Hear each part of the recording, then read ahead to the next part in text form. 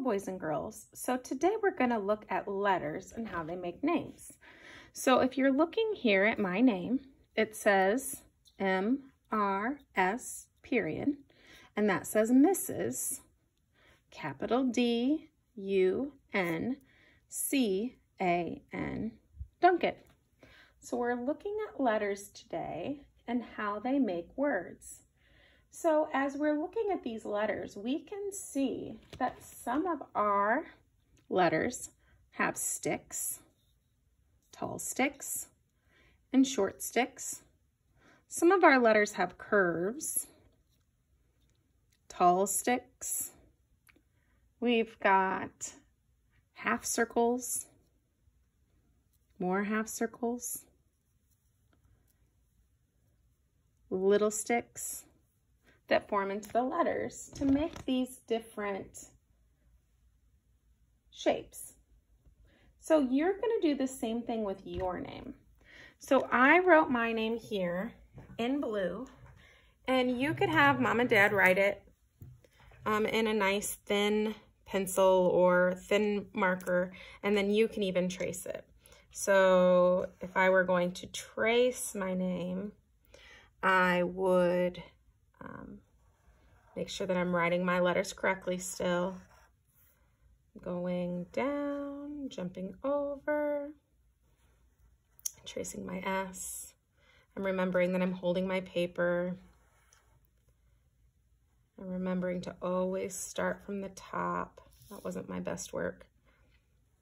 If this was a dotted line, I would know to start um, at the fence for all of these, but they're just kind of on this big piece of paper. So you're going to either write your name or be tracing it right now. And then our goal is, is kind of like when you did the, um, the nature thing with your name, but now you're gonna maybe use inside crafty things for your name. So the next thing you're gonna do is you're gonna trace your name with glue. So mom and dad can help get it ready, um, but, whoops, you are just going to do it like you would your letters. You're gonna trace and glue. Always start at the top, go back down just like your letters are supposed to. You're gonna trace. And the purpose of this is we're gonna decorate this. Usually when I have you in class, we get to use glitter. If you have glitter at your house, you can use glitter. But if you don't have glitter, you can use whatever else you can find that mom and dad says is okay.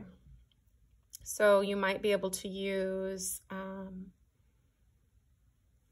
beads. I, I, grabbed some beads. I don't know if you can see that. Um, beads. I've got this little crepe paper stuff, and then I have glitter. Um, you could use sprinkles um, that you have for cookies. You could use tissue paper. You could use whatever you want. So I'm just going to glitter that and show you what um, that would look like if you had glitter. And then I'm going to use beads for the other part just so you can see you can do different things. And the whole point is to be looking at our letters and see that letters make words, that the word, the M, R, and S is saying Mrs., and that the D-U-N-C-A-N is saying Duncan. And you can do your first name, making sure to capitalize it because you are a proper noun and proper nouns get capitalized because you are important. That's why your first letter in your name gets capitalized. So I can't wait to see what creations you come up with because your nature names were just beautiful. So go ahead and make your own name with things from inside the house and be creative.